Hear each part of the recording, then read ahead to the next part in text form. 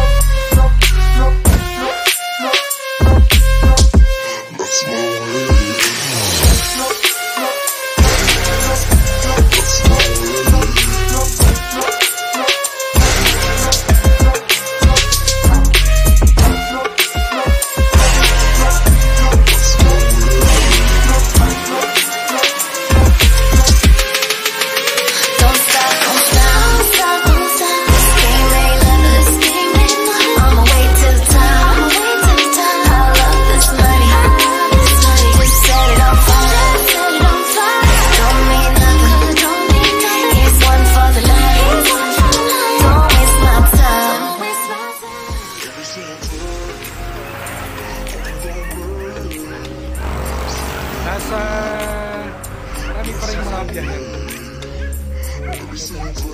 Sa malayo tayo, bawal pumasok dun sa sa Piliya, Laguna. Ha? Hindi lang yung mga bumabiyahe ngayon. Marami kang madadaanan ng mga magagandang lugar.